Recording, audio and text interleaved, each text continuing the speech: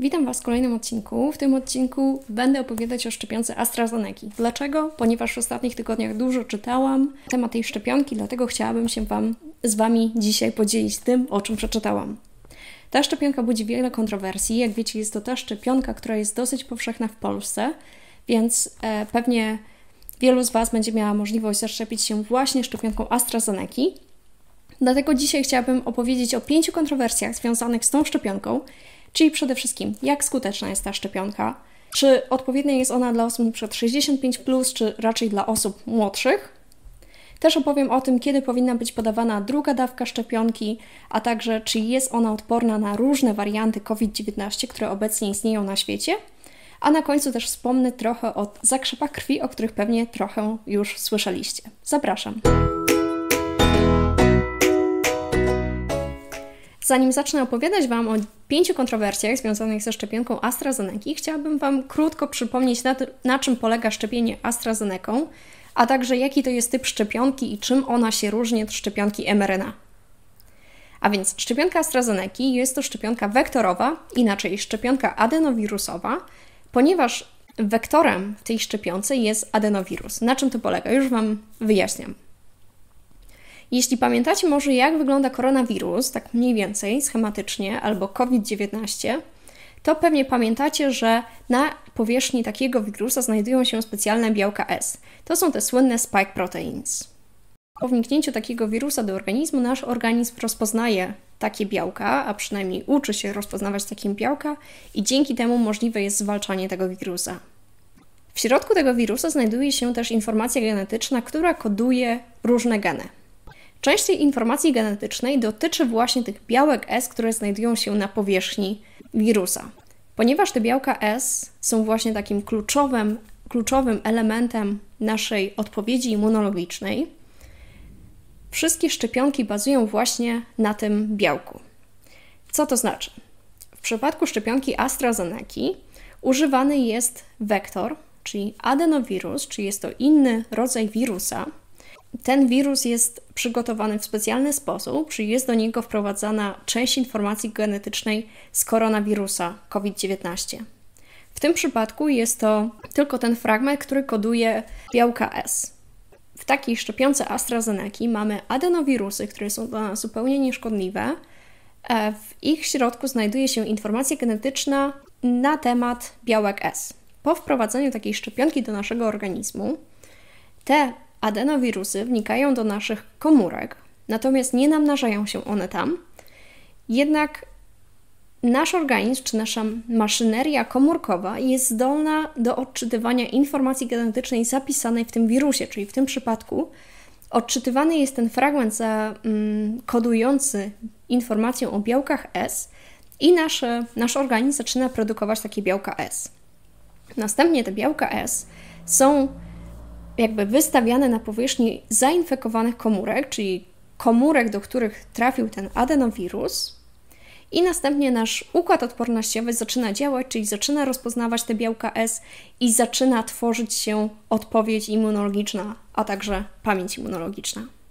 Drugim typem szczepionek przeciwko COVID-19 są szczepionki mRNA. Są to te szczepionki, które zostały wyprodukowane przez Pfizer BioNTech czy przez Modernę. Również CureVac, które który prawdopodobnie już niedługo trafi na nasz rynek, są to szczepionki mRNA. Największą różnicą między szczepionkami mRNA a szczepionkami wektorowymi jest sposób kodowania informacji genetycznej.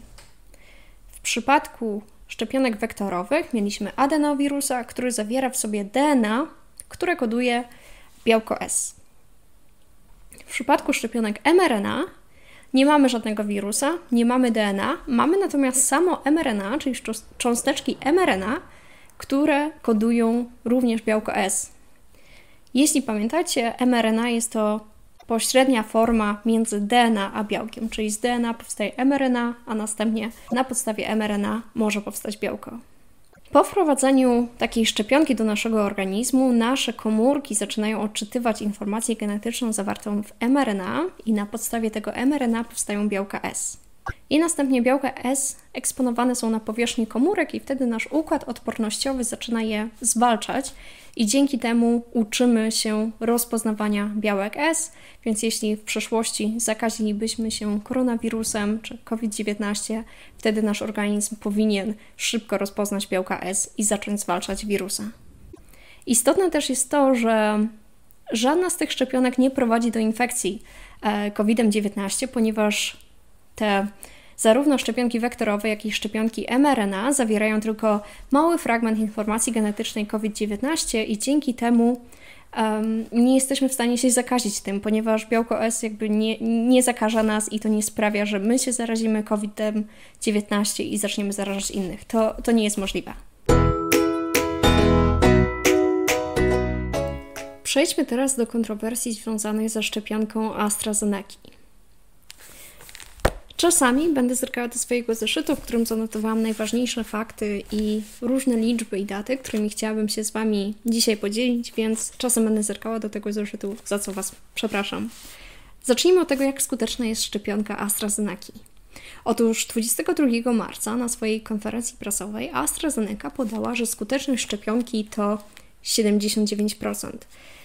Ten wynik, czy ta liczba została obliczona na podstawie badań, które odbyły się w Stanach, w Peru i w Chile. Uczestniczyło w nich ponad 32 tysiące uczestników. Każdy z nich dostał dwie dawki szczepionki. Wśród w tych badaniach nie zanotowano żadnych przypadków hospitalizacji ani śmierci. Natomiast już jeden, już dzień później w Stanach Narodowy Instytut Alergii i Chorób Zakaźnych wyraził swoje obawy, czy rzeczywiście ta liczba jest obliczona na podstawie aktualnych danych. Wezwali wtedy, AstraZeneca, żeby AstraZeneca użyła swoich najnowszych danych z badań. Wtedy AstraZeneca bardzo szybko odpowiedziała na, te, na to wezwanie i wyjawiło, że wynik 79% został podany na podstawie, czy obliczony na podstawie danych tymczasowych, które zostały zebrane do 17 lutego i ostateczny wynik dopiero będzie podany później. Natomiast dwa dni później, 25 marca, podano na konferencji prasowej AstraZeneca, że ta skuteczność, ostateczna skuteczność to jest 76%. Czyli ta różnica między 79 a 76% jest bardzo niewielka. Wynik 76% jest cały czas dobry. Jednak jest to trochę zaskakujące, czemu AstraZeneca już po trzech dniach podała ten ostateczny wynik i czemu nie poczekali właśnie te trzy dni z podaniem prawidłowych wyników. Wydaje mi się, że to głównie dlatego budzi kontrowersje i ten cały taki medialny szum, a także ich konferencje prasowe nie do końca były chyba dobrze zaplanowane. W przypadku szczepionek mRNA, Pfizer i Moderna ich skuteczność wynosi 90%, więc widzimy, że szczepionki mRNA są bardziej skuteczne, jednak wynik 76% w przypadku AstraZeneca, AstraZeneca to jest cały czas dobry wynik. Przejdźmy teraz do następnej kontrowersji związanej z wiekiem, czyli na początku szczepionka AstraZeneca nie była polecana osobom 65. Niektóre kraje w takim razie nie zaaprobowały stosowania tej szczepionki dla osób 65, a głównie wynikało to z tego, że w badaniach klinicznych uczestniczyło za mało osób powyżej 55 roku życia i w związku z tym e, w wynikach badań była duża luka. Dopiero po jakimś czasie, kiedy zebrano dane z badań z Anglii i ze Szkocji, niektóre kraje zaaprobowały stosowanie szczepionki AstraZeneca dla osób 65+, ponieważ te badania wykazały, że taka ta szczepionka jest skuteczna również u osób powyżej tego roku życia. Te badania wykazały u nich 80% skuteczność, co daje już bardzo dobry wynik, i osoby 65 plus stanowiły 20% wszystkich uczestników tych badań. Przejdźmy teraz do kolejnej kontrowersji, tym razem związanej z drugą dawką szczepienia. Otóż w listopadzie ubiegłego roku okazało się, że część uczestników badania przez pomyłkę dostało mniejszą pierwszą dawkę szczepienia. Były to 3000 osób. U tych osób wykazano, że skuteczność szczepienia po otrzymaniu już drugiej dawki wyniosła 90%, natomiast w drugiej grupie, która otrzymała prawidłową ilość czy prawidłową dawkę szczepienia, skuteczność wynosiła 62%. W tej grupie znajdowało się 9 tysięcy osób. Na podstawie tego wyciągnięto wnioski, że może taka mniejsza pierwsza dawka wywołuje większą skuteczność niż gdy się podaje pełną pierwszą dawkę. Dopiero po jakimś czasie zorientowano się, że w tej grupie, która przez pomyłkę do, dostała mniejszą dawkę szczepienia, u nich ten odstęp między pierwszą a drugą dawką szczepienia był dłuższy niż w drugiej grupie. Dzięki temu ta skuteczność szczepienia wzrosła. Co ciekawe, na początku AstraZeneca planowała, przewidywała tylko jedną dawkę szczepienia, natomiast po jakimś czasie uświadomiono sobie, że wyniki otrzymywane po E, zaszczepieniu ludzi jedną dawką są niewystarczające i dlatego wprowadzono także drugą dawkę szczepienia. Niestety do końca nie wiadomo, jaka, jaka jest optymalny, jaki jest optymalny odstęp między pierwszą a drugą, drugą dawką szczepienia, ponieważ w badaniach klinicznych wszyscy pacjenci otrzymują drugą dawkę szczepienia po czterech tygodniach, dlatego brakuje nam danych na ten temat. Jednak WHO zaleca, żeby ten odstęp między pierwszą a drugą dawką wynosił od 8 do 12 tygodni. W większości przypadków jednak druga dawka jest podawana po 4 tygodniach. Wynika to głównie ze względów organizacyjnych. Wiemy też, że im większy jest ten odstęp między pierwszą a drugą dawką szczepienia, tym nasza reakcja organizmu może być silniejsza i dzięki temu może być wytworzona większa odporność.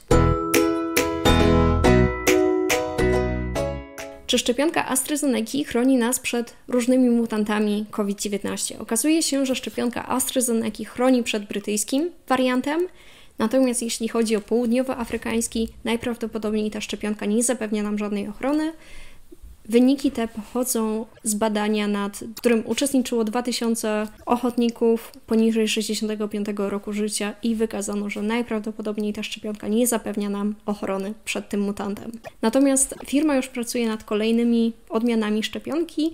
Najprawdopodobniej taka ulepszona szczepionka pojawi się już pod koniec tego roku i będzie ona chroniła przed innymi mutantami COVID-19.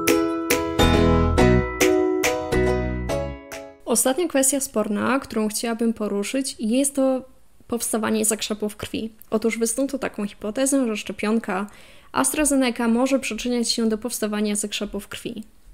Jednak nie udowodniono tego, więc póki co nie wydaje się, żeby to była prawda. Co więcej, 31 marca Europejska Agencja Leków podała w swoim komunikacie na swojej stronie, że nie znaleziono żadnych czynników ryzyka przyczyniających się do zakrzepów powstawania zakrzepów krwi w związku ze szczepionką AstraZeneca. Takimi czynnikami mogłyby być przykład wiek, płeć czy jakieś występujące choroby. Jednak analiza nadal trwa, więc jeśli um, w przyszłości okaże się, że rzeczywiście taka szczepionka może przyczyniać się do takiego um, powstawania takich zakrzepów krwi, na pewno się o tym dowiemy. Póki co jednak nic na to nie wskazuje. To już koniec tego odcinka. Mam nadzieję, że Wam się podobało, że dowiedzieliście się czegoś więcej o szczepionce AstraZeneca, że rozwiało to Wasze wątpliwości. Jeśli Wam się podobało, to koniecznie dajcie znać w komentarzach albo dajcie łapki w górę. Będę bardzo wdzięczna za to. Jednocześnie zapraszam Was na Facebooka, Instagrama i Twittera, żeby dowiadywać się czegoś więcej o biotechnologii. Jednocześnie w opisie odcinka zamieszczam linki do różnych źródeł, z których korzystałam. Jest tam też przede wszystkim artykuł, o którym nie opowiadałam dzisiaj, Scientific American, o tym, czy zagrażają nam kolejne mutanty COVID-19, więc jeśli macie ochotę przeczytać coś optymistycznego, to koniecznie spójrzcie na ten artykuł. Wszystkie te artykuły są niestety po angielsku, ale jeśli chcielibyście przeczytać to po polsku, to bardzo zachęcam Was do skorzystania z Google Translate, który tłumaczy świetnie automatycznie teksty Um, więc wklejam też link do Google Translate, ponieważ jeśli byście mieli ochotę to przeczytać po polsku, to wystarczy skopiować fragment a, artykułu i po prostu przetłumaczyć sobie automatycznie na polski i na pewno ten tekst będzie bardzo, bardzo zrozumiały, dużo lepiej niż kilka lat temu. A teraz chciałabym Wam podziękować za to, że byliście ze mną i obejrzeliście ten odcinek do końca i do zobaczenia w kolejnym odcinku.